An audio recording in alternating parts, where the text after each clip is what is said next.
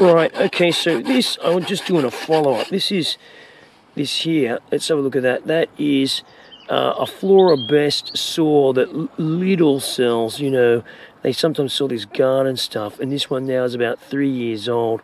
And I just wanted to do a, uh, you know, follow up on this thing.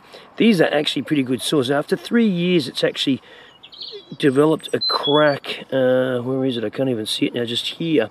This is uh, seasoned elm. I cut this tree down on our place a while ago, and uh, you know, I mean, for a cheapo saw, it's pretty damn good. Three odd years. Got another one too, and uh, does a pretty good job. You know, just about through that. It's pretty seasoned elm. And uh, there we go, look at that. Cuts absolutely fine for a cheapo saw. You know, don't let anyone tell you that they're rubbish. They're not. After three years for the cost, you chuck it out, but there's nothing wrong with the blade.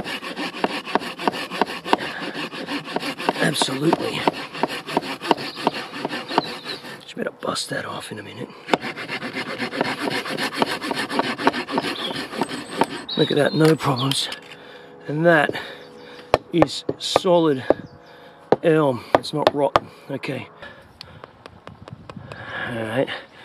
Florabest saw, you know, little saw.